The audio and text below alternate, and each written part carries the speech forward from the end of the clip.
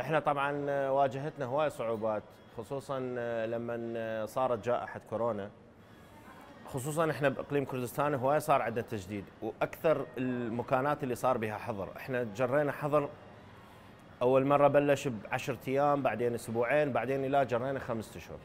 طبعا إحنا شفنا الجدول والخطط اللي حطيناها على مود البطولات وعلى مود الجدول السنوي. كانت أكو بطولة العراق بنهاية السنة.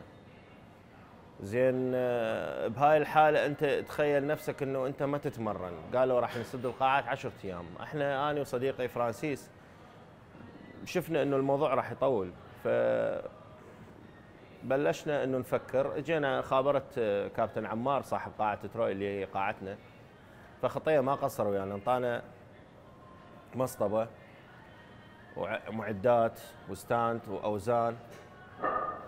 بلشنا نتمرن بالسطح. دقينا تقريبا تمرين ممكن أكثر من خمسة أشهر خمسة أشهر شوية لحد الشهر الثامن تقريبا لحد نهاية الثامن. على ما انفتح الحظر وعلى ما رجعت القاعات مرة أخرى فإحنا أكيد أنت تعرف مصالحنا كلها تعطلت شغل ماكو. آه، اللي كان راتبنا مثلا رواتب رواتبنا الحمد لله فضل الله صارت رواتب 10% 15% قمنا ناخذ. فشوية واجهنا صعوبة بالتغذية واجهنا صعوبة بالمكملات الغذائية. يعني المكملات الغذائية اللي عندي صارت اكسباير اضطريت آخذها.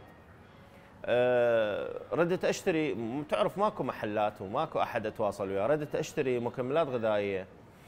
أه فنشرت منشور على الفيسبوك إنه ردت واحد يبيع لي أو واحد يدليني على واحد يبيع لي أو يعني هيك شيء by delivery أو اي أي طريقة. فواحد من الشباب طب لي على الخاص قال لي أنا عندي بروتين بس صاير expire قلت له اشتري منه قال لا شنو تشتري؟ لا بس أنا أعطيك إياه. فالمهم إحنا اضطرينا حتى مكملات ناخذ expire بذيك الفترة. وعدت الحمد لله والشكر. ودق تمرين دق تمرين دق تمرين إلى أن وصلنا الشهر العاشر بطولة العراق الحمد لله. حققت بها المركز الثاني. رحت لمصر ويا المنتخب الوطني. وجبت ثلاث ميداليات. ذهبية واثنين برونزيات. الحمد لله حققت لقب بطولة العرب وحقق منتخبنا الوطني المركز الثاني. والحمد لله والشكر. يعني رغم هذا اللي صار كله إنه إحنا يعني اني صمدت وتمرنت ونكرت ذاتي وما باوعت إنه اني ما عندي ما باوعت إنه اني مثلا يلا خلي ما أتمرن يلا خلي أترك يلا خلي أعدي يلا ما شنو أنتظر. لا ما انتظرت. خمس أشهر بالسطح بالحر بالبرد الفجر. يعني تعرف إحنا مقبلين كنا نهاية شتاء وربيع ومقبلين على وحشي.